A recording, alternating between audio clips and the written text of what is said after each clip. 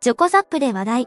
ライザップ2928。ライザップは、フィットネスクラブライザップを経営している企業です。また、健康や美容に関する商品を販売するヘルスケア美容事業と、生活関連の商品を販売するライフスタイル事業を手掛けています。さらに、同社は低価格のフィットネスクラブチョコザップの新規出店を積極的に推進しています。基本情報は、こちらの表の通りです。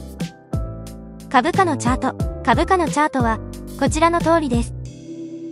最新の決算、ライザップは2月14日に決算を発表しています。2023年度、第3四半期累計の売上高が1230億円前年同期比67%増と増加したものの、営業損失が48億円の損失となりました。しかし、第3四半期10から12月期には営業利益が黒字に転換し、さらに電化事務チョコザップが11月から単月黒字化を継続しました。その結果、2024年3月期の連結業績予想では、売上高1720億円の従来予想を維持しつつ、営業損失を45億円から18億円へと下方修正しました。今後の事業方針、2024年2月、中期経営目標の再設定を中心とした中期経営計画の改定を行いました。2026年3月期の目標として、連結営業利益300億円、チョコザップの期末店舗数2800店舗、会員数275万人を掲げました。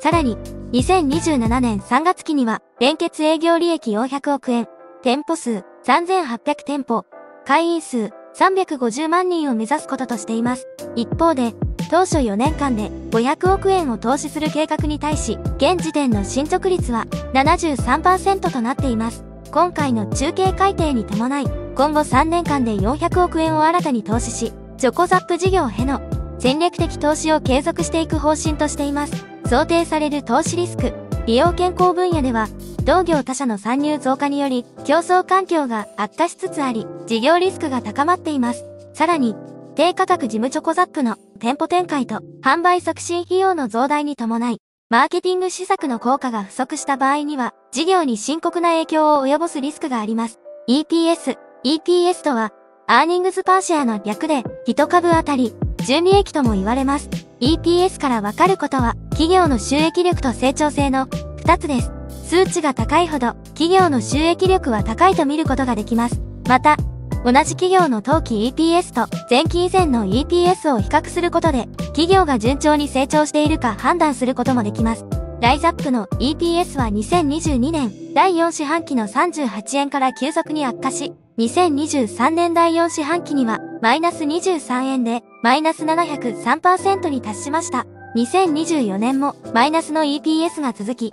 第3四半期はマイナス14円で成長率が11%と若干改善されましたが、依然として厳しい事業状態が続いています。売上高の推移、2022年第4四半期から2023年第3四半期まで売上高は一貫して減少しましたが、2023年第4四半期に154億2600万円で15.6%増と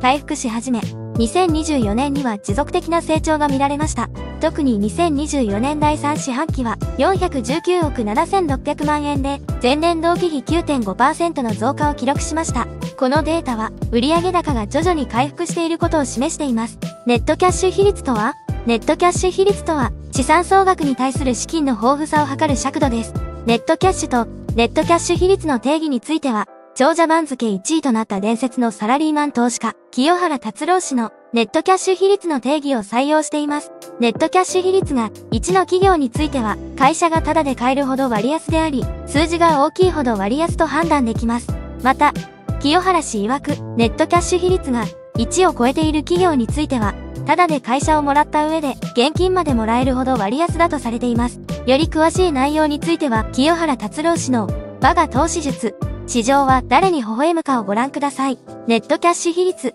それでは、ライズアップのネットキャッシュ比率を確認したいと思いますが、続きの内容については、有料記事となります。記事を購入していただくか、メンバーシップに加入して、メンバーになっていただくことで、読むことができます。メンバーシップは、初月無料ですので、月末までに退会すれば、ご負担0円で、お試しすることができます。